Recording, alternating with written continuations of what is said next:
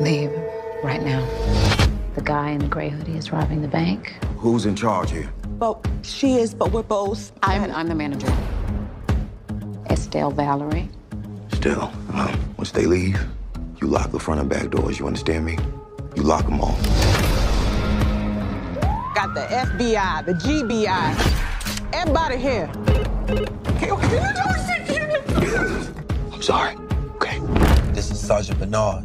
Is everyone all right in there? As long as everybody stays calm, nobody gets hurt. I have a bomb, and I'm gonna kill myself and everybody in here. My demands, and I'm there.